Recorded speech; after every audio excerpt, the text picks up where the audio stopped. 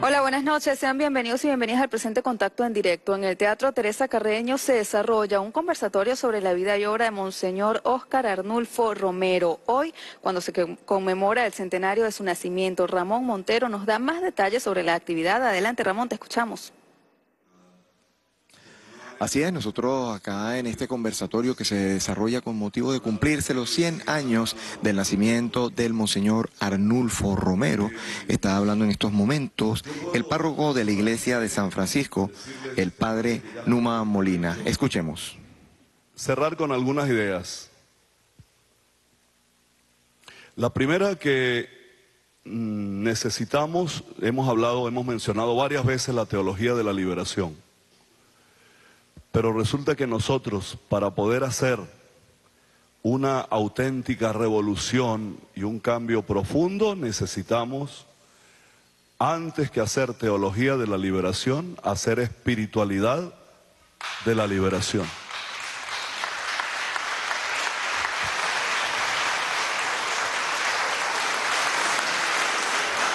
Nosotros somos herederos de una espiritualidad alienante que nos trajo España, España estaba en el momento más oscuro, estaba viviendo el oscurantismo cuando ya, este, ya el renacimiento estaba por toda Europa. España apenas había terminado la guerra con, con los musulmanes y, y tenía un cristianismo, un cristianismo que se había resistido allí con, conservador y, nos trajeron un Cristo muerto, por ejemplo, un Cristo que, que convenía para, para, que nosotros entendiéramos que ahí no había otra salida, sino mm, ser así y que en la otra vida entonces mm, ya el sufrimiento terminará. Es una visión fatalista de la salvación ¿no?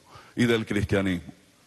De tal modo que cuando yo hablo de espiritualidad de la liberación, hablo de esto y eso fue lo que le pasó a Romero. Romero que había bebido de la espiritualidad, eh, de los ejercicios espirituales ignacianos, porque hizo tres veces, tres veces hizo ejercicios de mes en silencio, tres veces en su vida. Este, yo creo que si alguna cosa debió haber aprendido allí Romero fue a discernir. Y cuando tú por lo menos llevas el discernimiento como un elemento de la parte espiritual de tu vida y eso lo confrontas con la realidad del pueblo, porque no vale solo el discernimiento. Yo puedo ser un gran eh, experto en discernimiento desde el escritorio, ¿no? Desde mi oficina. El, el tema está cuando te encuentras con la realidad, cuando tocas las heridas, ¿no? Cuando te encuentras con su amigo, porque Rutilio, que era su amigo, era además director espiritual de él, ¿no? Había sido acompañante espiritual de, de Romero, el Rutilio descalzo.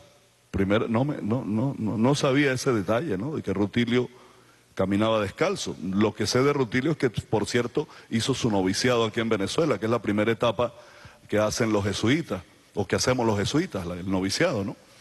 Este, eh, lo hizo aquí en Venezuela se encontró con, pero también se encontró con, con, millones de descalzos o con miles de descalzos asesinados, ¿no? Entonces, eso lo llevó a discernir y a, y a darse cuenta que tenía que optar por la vida. Cuando uno se encuentra con el Jesús del Evangelio, el Jesús del Evangelio lo que nos dice es que Él vino para que tengamos vida. Y eso es espiritualidad liberadora.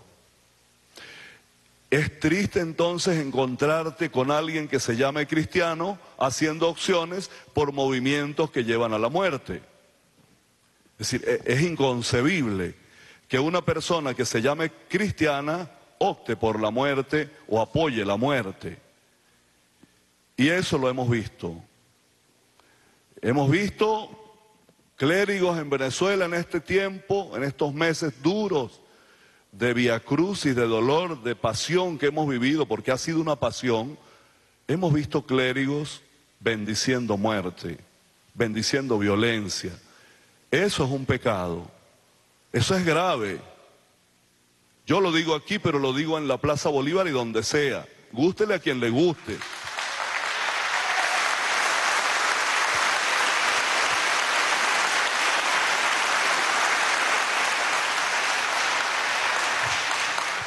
Claro que Romero estaba claro de que a él lo iban a llamar comunista. Yo voy a leer solo un párrafo, de una de sus homilías.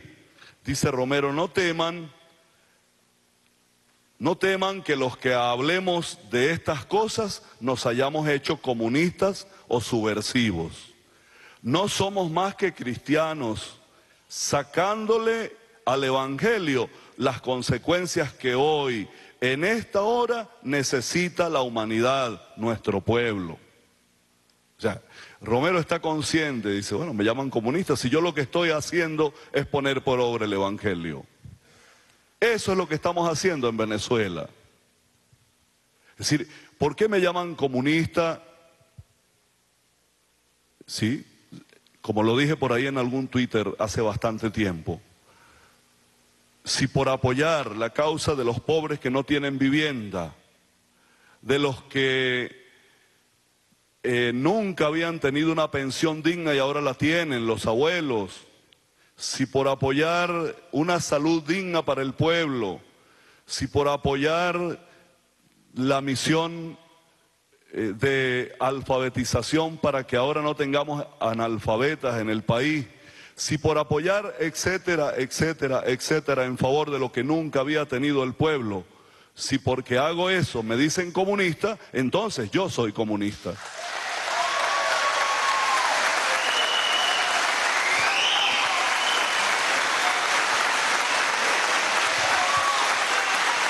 Gracias, gracias.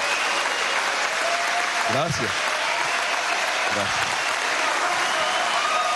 Y bien, pues escuchábamos al párroco de la iglesia de San Francisco, el padre Numa Molina, quien hace su exposición en este conversatorio denominado Vigencia del Pensamiento y Obra de Arnulfo Romero, con motivo de celebrarse los 100 años de su nacimiento. Esta es la información que les ofrecemos por los momentos de acá y con ella retornamos con ustedes. Adelante.